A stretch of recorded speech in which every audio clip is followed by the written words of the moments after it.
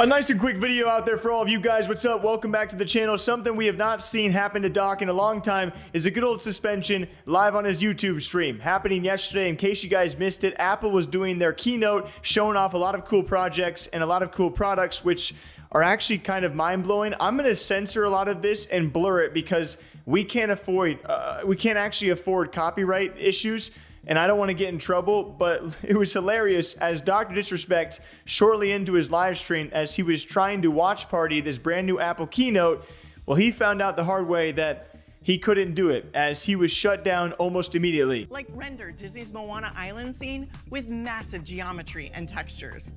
Another reason is M2 Ultra's media engine, which accelerates video processing. The Intel-based Mac Pro does this using Afterburner, a card that can play three streams of 8K ProRes video. Now, every Mac Pro has Afterburner performance built in. And it was just the timing of it. Literally, the second he opened his mouth, it seemed like a meme edit. It seemed like an impossible thing. It was almost staged perfectly. And a free promotion for Apple, which you find out apparently YouTube restrictions are far more strict. And we've kind of known this around bans and what you can actually show than that of Twitch or Kick. Because XQC, one of Twitch's top streamers, was watching it just fine. No issues. What was also great, though, was Doc's response finding out that, hey, okay, uh, apparently we can't stream this. But I guess we can't watch the. Uh, we can't watch the Apple event or what? Is that the issue? I just want to see this this headset, man. Give me, give me back my son. Give me back my son. Yeah, I mean, I, I. Apple's not a Tanaka. Where are you with the five dollar donation? You can't stop the duck. Yeah. So let me go back to my original question. Who, who are they? who are they streaming to?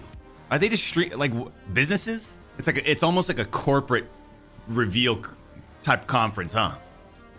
It's not like they're talking directly to the consumers to, uh, uh, like the personal consumers. It's more it feels like business corporate, which is hey, and that is how Dr. Disrespect was suspended live yesterday on YouTube. Shortly after, went live yet again with no issues. Something that happens, I think a while back, it was Ludwig who speed ran the system of how fast he could actually get taken down on live stream. But Doc is okay, unaffected. It was just Apple being Apple, taking over the entire world with this new headset, which I don't know if we're, we're probably never gonna do a video on this channel about it. So might as well quickly say it's freaky. What do you guys think about it? Also, $3,500. Like, am I allowed to show these products? I don't know. Uh, just want to avoid those kind of issues. Till next time, take care. Okay, bye.